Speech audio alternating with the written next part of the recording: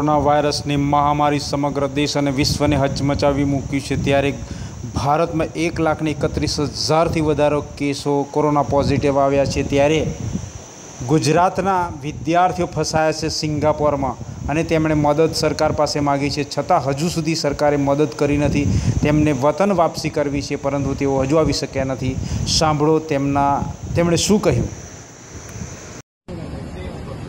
नमस्कार, जय गरीब गुजरात। સાથે जाना के, हमें हम यहाँ पे सब लोग गुजरात से सिंगापुर में अभी बैठे हैं। सिंगापुर में डेढ़ साल से बैठे सबकी स्टडी यहाँ पे पूरी हो गई है, दो तीन महीने से, लेकिन यहाँ पे गवर्नमेंट कुछ प्रोसेस नहीं करी है। सब, सबको यहाँ पे एयर इंडिया के ऑफ़िस के बाहर खड़े हम लोग अभी। देखो, ये सब यहाँ पे खड़े।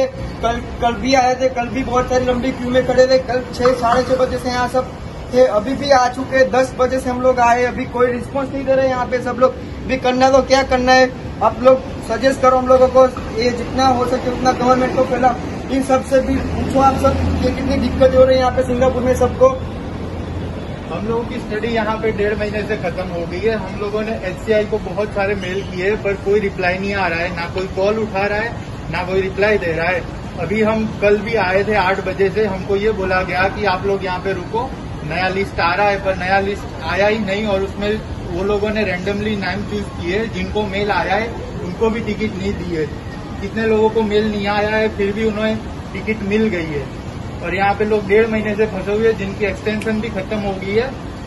और वो लोग यहाँ पे अभी रेंट के भी पैसे नहीं है और फ़ूड के भी पैसे नहीं है। फिर भी गवर्नमेंट यहाँ की कोई हेल्प कर नहीं रही है, हम सबको। दूसरी एक बात, यहाँ पे हमने पूछा कि आपके पास कोई अपडेट आई है कि अब फ़्लाइट अहमदाबाद की दूसरी कब तक है? तो उन लोगों के ऑफिसर के द्वारा हमको बोलने में आया है कि हमारे पास कोई अपडेट स्टेट गवर्नमेंट की से आई नहीं है। तो अब हमारा क्वेश्चन सिर्फ़ एक ही है, हम अपनी इन्फॉर्मेशन मांगने जाए तो किसके पास जाए हम एम्बेसी इंडियन एम्बेसी जाते हैं तो वो लोग सिर्फ़ गेट पे से हमको बाहर निकालते हैं। इंडियन एम्बेसी में वो गेट के अंदर भी घुसने देते। वो लोग सिर्फ़ एक ही बात